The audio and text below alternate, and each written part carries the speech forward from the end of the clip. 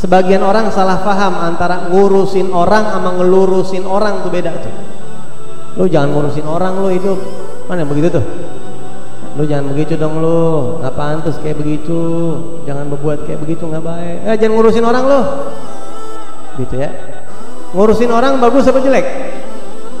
Ngurusin orang jelek tapi kalau ngelurusin orang itu mah bagian dari agama. Salah paham tuh orang kalau ngelurusin orang orang yang belum beres kita ajak bener ya, orang berbuat salah dalam kacamata agama lurusin nanti nggak boleh kayak begitu atau kita lihat murid kita berbuat salah bilangin nih anak-anak muda jangan berpacaran kadang-kadang statusnya kalau di Facebook soleh-soleh banget inboxnya oh godain perempuan Jangan begitu. Oh, itu ngelurusin orang, bukan ngurusin orang, ngelurusin. Bagian daripada nasihat. Nasihat. Kalau ngurusin orang yang dia yang kagak baik menurut agama, ngurusin orang. Si Anu kemarin mobilnya ganti nih Avanza. Karena mobil lagi inovasi orang ngapain sih mobil inovasi segala ngapain ngurusin orang? Enggak penting. Rumah kemarin dicat hijau, orang biru. Terus umum apa ngapain ngurusin orang? Oh lihat perasaan si Anu kemarin baru kawin lagi udah dua jadi nambah tiga. Mau ngapain ngurusin orang? Itu ngurusin orang tuh. Yang begitu jangan. Ya itu mobil ngapain sih diutak itu itu ngurusin orang tuh. Yang nggak ada hubungannya sama agama nggak usah diurusin.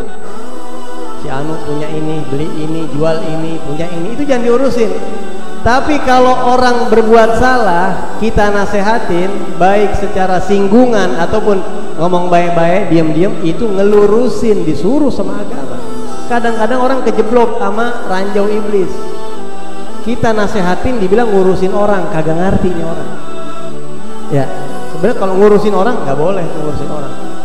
Wah heran si Anu tiap tahun gunting bininya. Ada aja anak sampai banyak banget udah sepuluh. Ngapain ngurusin orang?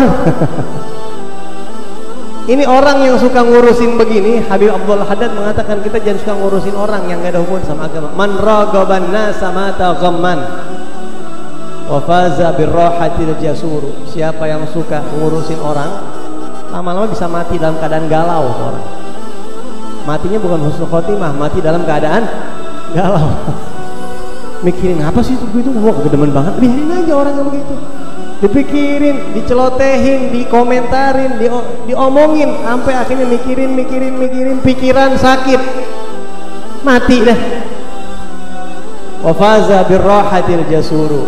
Dan orang yang al jasur yang biarin dah. Jangan gue denger-denger sekarang ganti mobil enak bisa nebeng kita besok ngaji. Begitu biar enak itu hidup tuh. Gue denger-denger si Anu sekarang bininya bunting lagi biarin umat Nabi banyak. Nah, apa sih namanya diurusin? dengar-dengar si Anu katanya kawin lagi biarin aja orang urusan dia udah dengar si Anu katanya mau ngapain jadi puyang hidup ngurusin begituan faza birrohatil suruh orang yang hidupnya biarin deh her udah insya Allah tagaful dah pura-pura kagak niat nggak perlu diurusin itu hidupnya tenang yang kayak begitu Imam Haddad menukil syair itu di kitab man ragaban nasa mata ghamman siapa yang merhatiin orang, komentarin orang, ngurusin orang, mati galau. Bisa mati dalam keadaan galau. Sampai lagi sakaratul maut ini ngomong, "Tong, dulu tong." Ngapa, Mbak? Masih anu dengar-dengar kalau ganti mobil. Mau ngapain? Mau mati tuh. Udah mau mati masih aja. Udah dengar-dengar si anu katanya mau beli tanah lagi itu katanya. Udah mau mati, bah, udah. La ilaha illallah baca berzikir.